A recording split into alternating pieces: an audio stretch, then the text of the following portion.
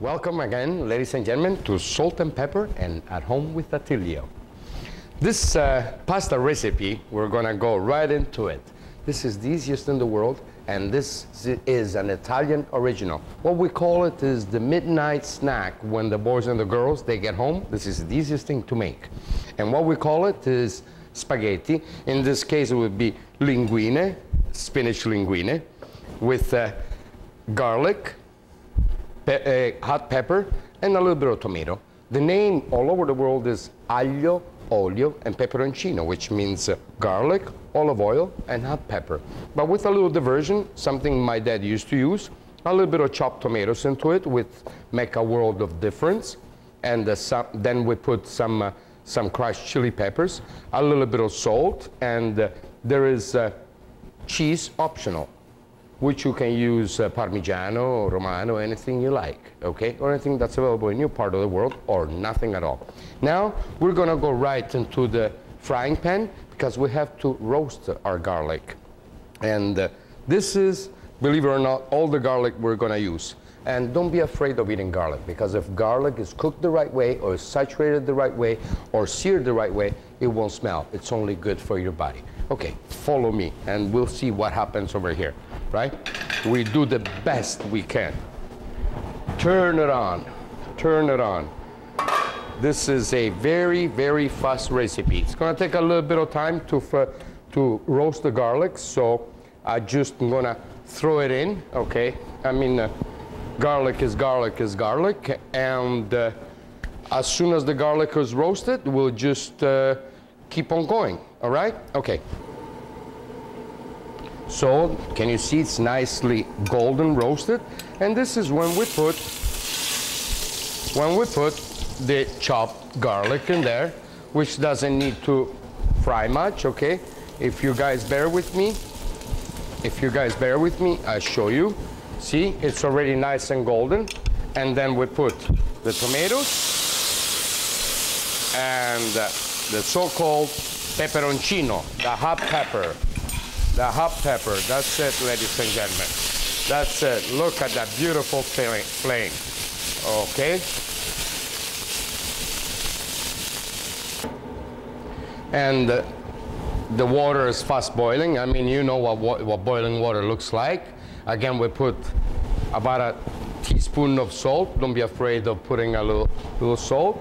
Just a touch of uh, olive oil so our pasta doesn't get stuck. And uh, our choice of pasta, which is uh, spinach linguine. These ones aren't gonna take too long to cook, right? So our uh, garlic and, uh, and uh, hot pepper and tomato is ready, you know, with all the flames and all that kind of stuff. Crazy guy here. You don't have to do the flame at home. I do that because I like to do this show, and it's for me it's always funny every time I do it, and scares the scares the hell out of the cameraman, and I love it. But anyway, they're strong boys, so we're gonna go with this. This doesn't take too long to cook, okay? So I'll call you back as soon as uh, the pasta is done, and I'll show you what I'm gonna do. Don't go away.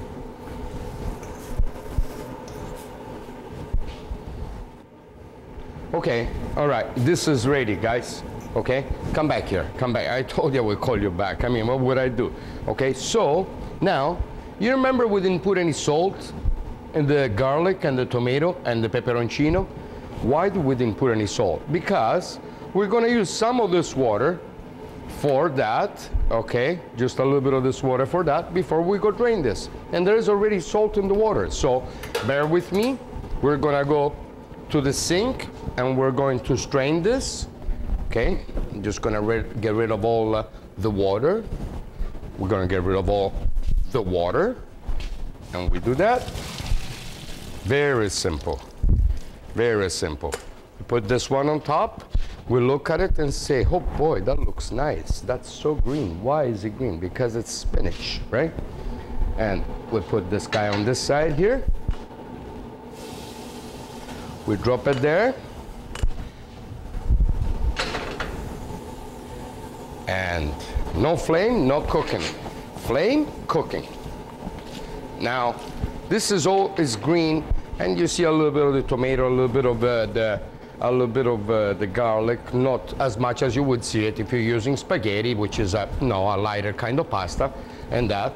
And I'm gonna bring it right up there so you can see exactly what this looks like. We used a little bit of the water because the water's got the salt.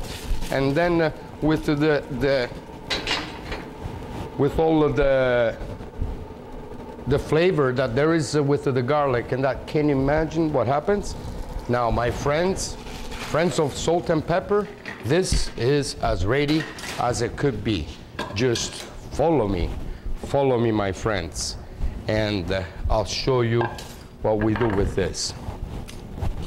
We just grab it with our tongs like that.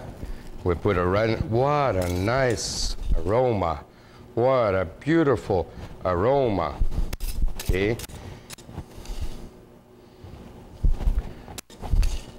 You don't have to put all the juice And then That's it.